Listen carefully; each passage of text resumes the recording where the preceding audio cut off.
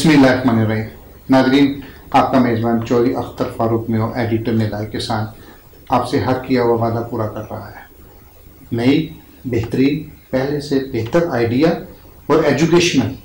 आप भी अपना वादा पूरा कीजिए कि निदाय किसान टीवी का साथ दीजिए, इसको सब्सक्राइब कीजिए, लाइक कीजिए, शेयर कीजिए।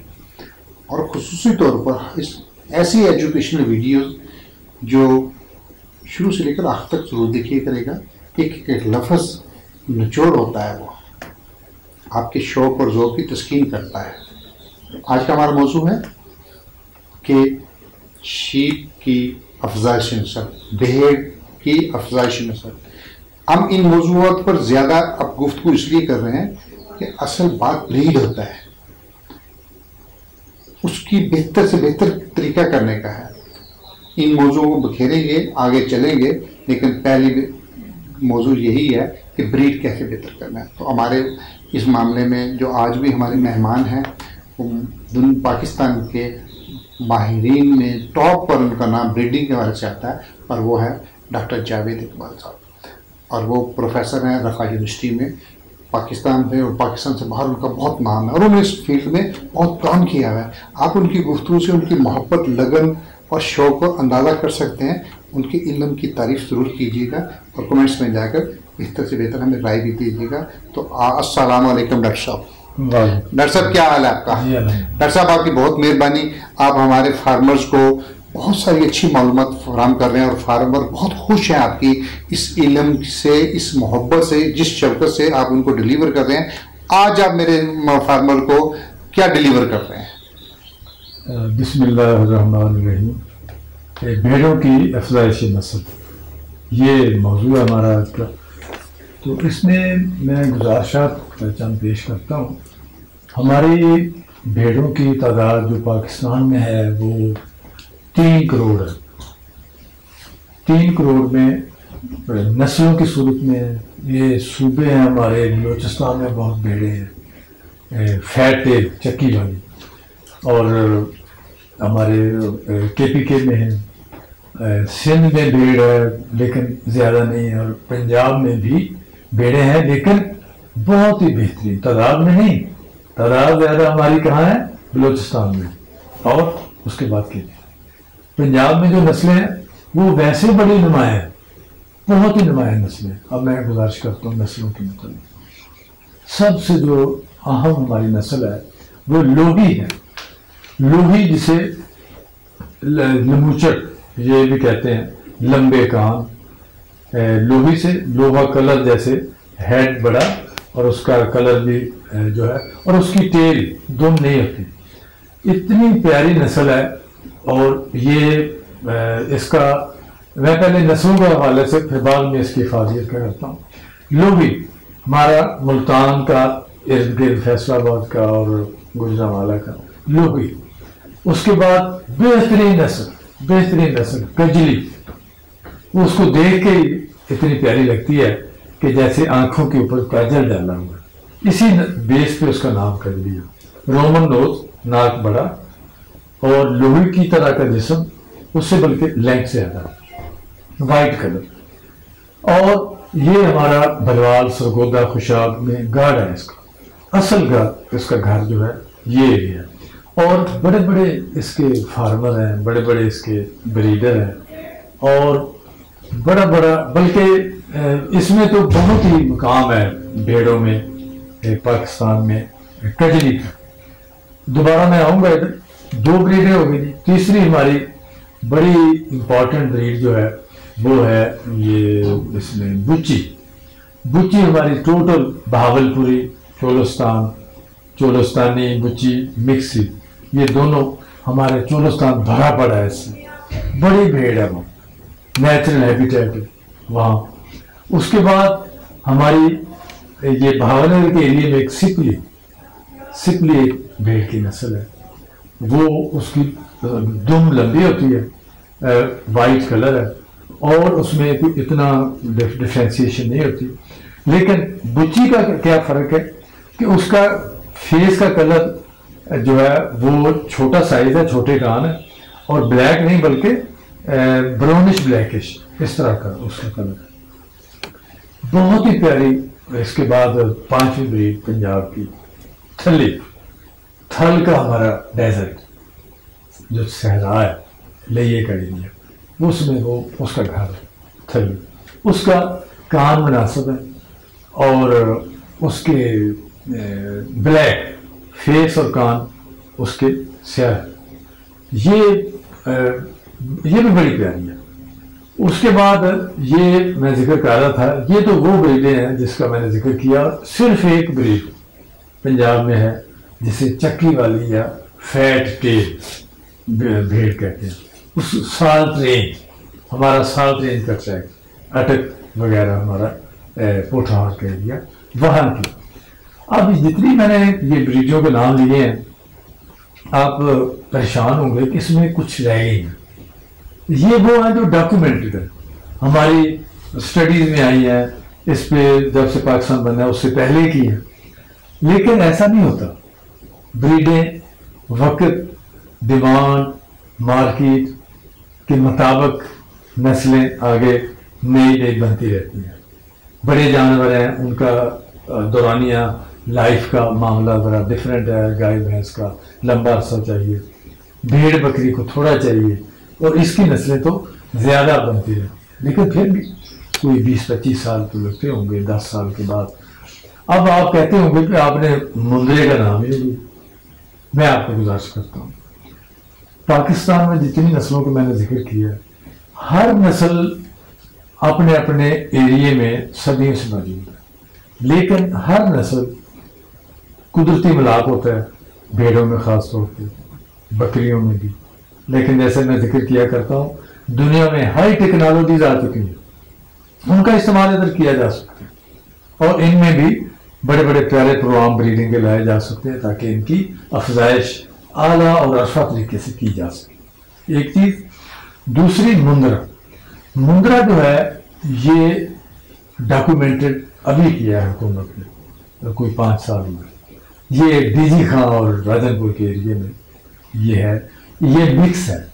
हमारे जो है एरिया इधर फोर्ट मनरो साइड और ये हमारा सिंध का और ये कजले का, ये मिक्स होके कच्ची खास होते सिंध की बड़ी प्यारी शीप की उसके साथ ये मिक्स होके वहाँ एक्चुअली फोर्ट मंडो साइड से हमारा जो को सुलेमान एरिया जो है सारा इसका वहाँ से जो ग्रेजिंग के लिए रेवड़ छेड़ आते हैं वो उसके साथ मिक्सिंग होती रहती है तो वो इस तरह ब्रीड डेवलप गई है। और वो क्या नमाया चीज़ है? वो बड़ी मैं यहाँ से मेरी जरा अहम बातें हैं। ये जो जायजा लिया भेड़ों का, उसमें यह है कि उसके कान नहीं है, मुंदरे के। नोज़ रोमन नोज़ बहुत बड़ी नोज़ चेहरा, बड़ा सा। लोग कुर्बानी भी बहुत पसंद करते हैं। कजरा क्यों किया जाता है? बहुत ही खूबसूरत है। लंबे कान लंबे कान टिप्स उसकी बुलाए। लेकिन इकोनॉमिक्स देखनी चाहिए तो लोग देखते हैं। जब ग्रेजिंग पे रेवड़ जाते हैं, छेड़ जाते हैं तो लंबे कान प्रॉब्लम करते हैं। जब कान जख्मी हो जाता है तो वो हमारे रेवड़ वाले जो शेफर्ड हैं उनके मालकों को प्रॉब्लम बनती है। तो बल्कि यहाँ तक होता है कि वो कुर्बानी की काबिल भी तो इसलिए मुंद्रा कुदरत ने हमें तोहफा दिया और छोटे कानों वाले भेड़े जो है खास तौर पे बड़े कानों वाली तो हमारी है ही लोही और कभी ये हमें वैसे प्यारी लगती है, खूबसूरत। लेकिन इसका एक चक्की वाली भेड़, हमारी रेंज इसी तरह चक्की वाली या फैट टेल सबसे ज़्यादा बलोचिस्तान में वजह नेचर को चाहिए, खुराक। ये फैट होती है इसमें। वहाँ इलाका ही ऐसा है पहाड़ी इलाकों में फैट चाहिए, चर्बी की ज़रूरत और अल्लाह ताला ने इसी हवाले से वहाँ के लोग भी स्मार्ट बैस नहीं होंगे। इसी तरह वो हम फैट वाली दे फैट की ज़रूरत है। तो वो अब कुछ हल क्या करें?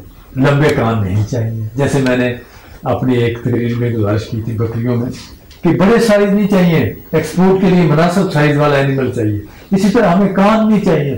चर्बी वाला वक्त गया फैट जो चक्की है, उसकी अब ज़रूरत नहीं है। जैसे मेडिकली और इस हालात, हमारे गोश्त के चर्बी की ज़रूरत नहीं है। अवेयरनेस आती जा रही लोगों को। कान है लंबे लंबे, इसकी फादियत नहीं है। तो फिर हम क्या करें? हम इनको क्रॉस करें। जब हमारी कच्ची है सिंध में उनके कान है ही नहीं तो इस तरह जब मिक्सिंग करते हैं हम तो इस तरह मुंद्रा पैदा हो जाता है। मुंद्रा बाकायदा एक नस्ल डिक्लेयर हो गई बेहतरीन नस्ल है कुर्बानी के लिए भी और हमारे बाकी ज़रूरियात के लिए भी कान भी कम। चक्की वाली तो ट्रायल हो चुके हैं साइंटिफिक हमारे ब्रीडिंग के तजर्बात हो गए। चक्की वाले को जो गैर चक्की वाली हमारी थिन टेल ब्रीड छोटी दुम वाली, उनसे क्रॉस करते हैं तो चक्की कम हो जाती है। चक्की कम होती है तो उसके हमें फ़ायदा क्या होता है? गोश्त का वज़न बढ़ जाता है, चर्बी कम हो जाती है। ये दो चीज़ें इसके तजर्बात होते हैं और ये आप बड़े आसानी से कर सकते हैं। दो बातें। दूसरा ना, एक सूरत बदल रही है। कभी भेड़ों की ऊन की वैल्यू थी, अब नहीं है। अब फार्मर भेड़ों के, आप हैरान होंगे कि हमारी बकरियों की तादाद, ये जो सात करोड़ से भी ऊपर है, और ये सिर्फ़ तीन करोड़ है। वजह क्या है? अफादियत की। दूसरा, हमारी एक चॉइस है कि हम बकरी का गोश्त पसंद करते हैं, पेड़ का काम करते हैं। इसकी वजह बने ऊन की वजह, ऊन की इंटरनेशनल मार्केट सिंथेटिक फाइबर आ चुका है। नेचुरल फाइबर की अहमियत खत्म होगी पाकिस्तान में थोड़ा सा हवाला दे दूँ। क्रॉस ब्रीडिंग के ट्रायल हुए, जब पाकिस्तान बना सिक्सटीज की डिकेड में। उसमें हमारे साइंसदानों ने वर्क किया। ज़्यादा गोश्त में किया ही नहीं है। सारा वर्क ऊन पे करते ऊन के हमें ज़रूरत है रिफाइन वूल की। हमारी कुदरती तौर पर कारपेट वूल है कोर्स वूल कारपेट्स बनाने के लिए। और सारी इसकी अपनी जगह अहमियत है लेकिन दुनिया की मैरिनो वूल ऑस्ट्रेलिया की, वो लीड कर रही है। हमने क्रॉस की मुख्तलिफ़ ट्रायल हुए, जिससे हमने एक कराकुली कैप्स होती थी। अब उनकी फादियत भी नहीं है। कराकुली भेड़ थी हमारे नॉर्थ की हमारे ये रशियन स्टेट्स हैं, वहाँ की। पाक कराकुली बनाई। पाक अवासी बनाई भेड़ के दूध के लिए, लबनान से खरीद के। इसी तरह हमने तुर्की वाली जो है अंगोरा, उसको ला के पाक अंगोरा बनाई। ये ब्रीडें बनाई, लेकिन इनकी बाद में फादियत ही नहीं एफर्ट्स हुई twenty years sixties seventies decade तक। उसके बाद उसके फादियत ही नहीं रही। लेकिन अब अफादी सिर्फ़ गोश्त की और गोश्त भी इकोनॉमिकल। ठीक है, हमारी डिमांड, लेकिन हमें इसको एक्सपोर्ट भी कर सकते हैं। और कुर्बानी के, बकरे के बाद इसका हमारा छतरा जो है लैंड मीट बेहतरीन क्वालिटी इसमें हम अगर अच्छे तरीके से, जितनी नस्लों को मैंने ज़िक्र किया है, और आप क्रॉस ब्रीडिंग करके, एक गोर इसमें पॉइंट आप जितनी क्रॉस ब्रीडिंग करेंगे, उतने अच्छे रिज़ल्ट लेंगे। आपने कोई एक्स्ट्रा ऑर्डनरी कोई, ये तो छोटे जानवर है, आप इसकी क्रॉस ब्रीडिंग करें। और फिर जो अगर चीज़ें आती हैं, वो लैम पालें, और पालने में जो मैनेजमेंट के गुर हैं टिप्स हैं, वो आप अलहदा मौजूद हैं उनके। उसमें अलहदा जैसे उनकी हाउसिंग है शेड डिज़ाइन है ग्रेजिंग है, खुराक है। खुराक बड़ी अहम चीज़ है। और ख़ास तौर पे हमारा सबसे अहम इशू आजकल है इसकी फैट में। इनकी फैटिंग तीन चार माह तैयारी करें और कुर्बानी के लिए एक्सपोर्ट के लिए तैयार करते हैं। शुक्रिया नाजरीन, आपने डॉक्टर साहब की बातें सुनी। मुझे कुछ कहने की ज़रूरत नहीं है। आपके कमेंट्स बोल रहे हैं। आपकी सब्सक्रिप्शन बोलेगी, आपके लाइक्स बोलेंगे। हमारा वादा पूरा है। डॉक्टर साहब की बातों पर अमल कीजिए। हम पाकिस्तान में किसान को ऑर्गेनाइज कर रहे हैं। इस हवाले से कि उसकी कैपेसिटी बिल्डिंग हो, वो अपने आप को डेवलप करें। ये निदाई किसान, टीवी, टिकटॉक और दूसरी वीडियोस की तरह नहीं है ये। ये एजुकेशनल है। ये आपके लिए बहुत बड़ा सरमाया है। ये मैसेज किसानों तक पहुंचाना आपका फ़र्ज़ है। हम इन अज़ीज़, इससे बेहतर से बेहतर तरीके से आपको हर वीडियो फ्राहम करेंगे और जो एजुकेशनल होगी। लेकिन एक बात ज़रूर आप करिएगा। आप भी अपनी राय से हमें बताइएगा कि ये हमारे मुतालबा है, हमें ऐसी वीडियो चाहिए। हम ज़रूर बनाएँगे। हम ज़रूर करेंगे। और अगर किसी के पास अच्छा फॉर्म है, अच्छी चीज़ है, वो हमें बताइए। हम वहाँ आकर उसकी डॉक्यूमेंट्री बनाकर पब्लिसाइज भी करेंगे। ये आपकी अमानत है, लोगों तक पहुँचाना है। और अगर आपको कभी कोई एजुकेशनल और इसमें मैनेजमेंट में या इस वाले से कोई भी ज़रूरत हो, हमारे पास माहिर मौजूद हैं। हमसे रबता कीजिए। हम इन आपको हर हवाले से रहनमाई देंगे, बगैर किसी लालच के, बगैर किसी फ़ीस के। जब तक के लिए अपने मेज़बान चौधरी अख्तर फारूक में एडिटर नदाय किसान और प्रोफेसर डॉक्टर जावेद इकबाल को इजाज़त दीजिए। इन फिर एक नई वीडियो के साथ फिर मुलाकात होगी। किसान जिंदाबाद, पाकिस्तान, पाइंदाबाद।